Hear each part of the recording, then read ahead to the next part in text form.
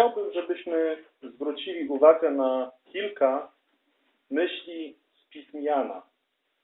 Apostoł Jan w szóstym rozdziale Ewangelii Jana przedstawił takie słowa, które Pan Jezus powiedział do ludzi, którzy zadali mu takie pytanie. To jest szósty rozdział, dwudziesty ósmy wiersz. Rzekli więc do Niego, czyli do Pana Jezusa. Cóż mamy czynić, aby wykonywać dzieła Boże? Odpowiedział Jezus i rzekł im. To jest dzieło Boże. Wierzyć w tego, którego On posłał. Czyli widzimy, że Pan Jezus dał prostą receptę. W jaki sposób można wykonywać dzieła Boże? Wierzyć w Pana Jezusa.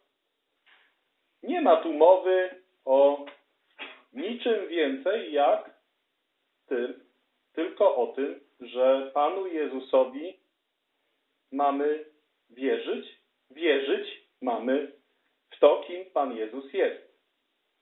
Że mamy wierzyć w tego, którego Bóg posłał, a Bóg posłał Pana Jezusa. Podobna myśl jest w pierwszym liście Jana.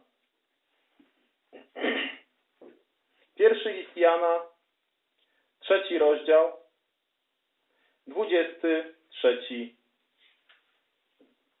wiersz. A to jest przykazanie Jego, abyśmy wierzyli w imię Syna Jego, Jezusa Chrystusa. Możemy być pewni, że prosimy o coś według Jego woli, to Bóg nas wysłuchuje. A więc jeśli prosić będziemy Boga o to, żeby nas uratował, to już możemy uznać od razu, że już mamy to, o co Go prosiliśmy, bo to jest zgodne z Jego wolą. Wiemy, że otrzymaliśmy już od Niego.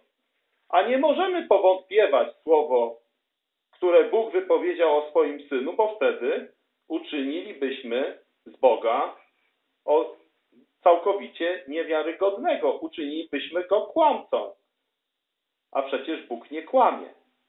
Więc mamy do wyboru. Albo wierzymy Bogu i wtedy honorujemy to, co Bóg powiedział o swoim Synu, że w Nim jest zbawienie.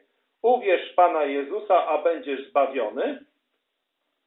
Albo obrażamy Boga, nie wierząc w Syna Bożego, bo wtedy czynimy z Boga kłamcę.